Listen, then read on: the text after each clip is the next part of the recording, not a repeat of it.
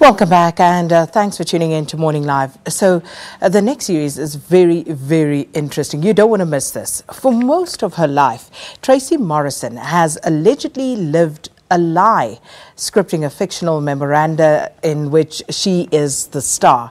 And she has allegedly defrauded scores of victims through financial scams and impersonations and exposed them to emotional abuse.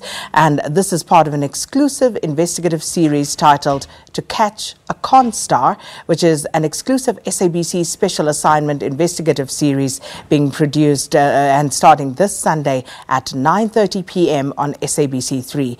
But before we talk more about this and speak to Hazel Friedman, who produced To Catch a Con Star, let's take a look at one of the clips.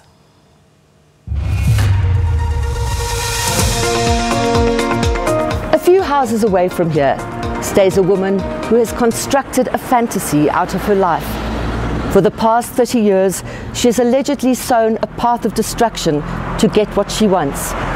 I call her an equal opportunity constar because she has targeted everyone old, young, rich, poor, black, white. Everybody has been fair game.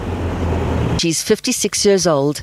In 1998, I had exposed this wannabe legend in her lifetime as merely a legend in her own mind, an impostor with a fake American twang who had persuaded the mink and manure set of Johannesburg that she was a movie mogul from Hollywood looking for investors in her new films.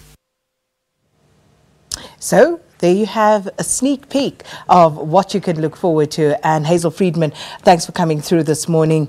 Um, fascinating, fascinating story. But as you say, you've been on her trail for quite a while. Actually, by default, as I said, 20 years ago, I did an expose on her as a fraudster. Um, but at the time, I thought she'd learned her lesson. I thought she was just somebody who was crying out for attention. She was also a stalker of celebrities way back then. So I thought it was kind of almost like a plea for attention to make herself seem more glamorous, more rich. Um, but 20 years later, she's developed her scams into something quite sophisticated and horribly sinister as we're, we're gradually learning. So. so, 20 odd years on, how has she managed to evade capture? Okay, this you're asking the central question, which we're going to get into not in the series, because here we're going to just basically give you a profile of this constar and also explain her modus operandi, the kinds of scams she does.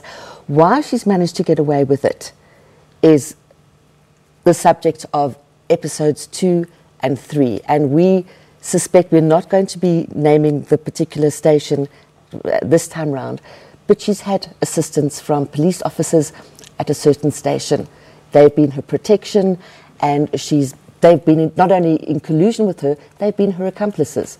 But that's going to unfold at a much later date curiouser and curiouser. Yeah. Uh, but of course, you know, just uh, looking at some of the pictures there of uh, Tracy Morrison, and uh, you, you, described her, uh, you know, as an equal opportunity con artist. So tell us more about her. You know, how does she manage to lure these victims? This is the tragedy of her. She's a, obviously a highly intelligent woman. She's highly charismatic. She's very convincing. She can portray the empathetic maternal figure as she is now because she's 56. Way back then, uh, when, when I first met her, she was trying to be sort of this kind of glamorous celebrity type. But if she had put her skills to positive use, I think she could have made a positive contribution to society. As such, she's actually monstrous. She is, for me and for psychiatrists we've interviewed and for forensic investigators, the archetypal pathological soci- sociopath in that she lacks remorse, she lacks empathy, she looks at people as targets, she manipulates them, and she uses them, she, she kind of gets into their vulnerability. She can read people very quickly. She's three steps ahead of them. And she uses this to exploit, manipulate, and betray their trust. So, veering a bit off the beaten track for special assignment and what it does, how long is it going to be? And just, you know, tell people when, how. Right. Well, initially, when I first started investigating her this year, we thought, okay, it's going to be a one episode. At the rate we're going, it's going to be a 10, 10 episode miniseries or maybe a 10 season miniseries. We're getting so much information. But we're having a break after the first episode because we've got to get our ducks in a row in terms of very, very, very serious allegations against her. So our next episode is going to be at the end of July and following that, the first week of August. Well, you don't want to miss it. To catch a con star, and uh, Tracy Morrison will be under the spotlight, and as you heard, may go on for as long as 10 episodes.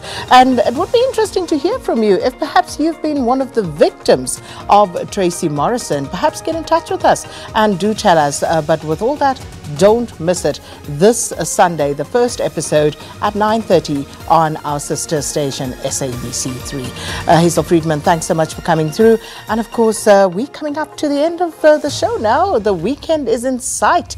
And uh, Leanne, um, you, we, we are just about getting to that, uh, but we'll take a break and we'll come back to her after this.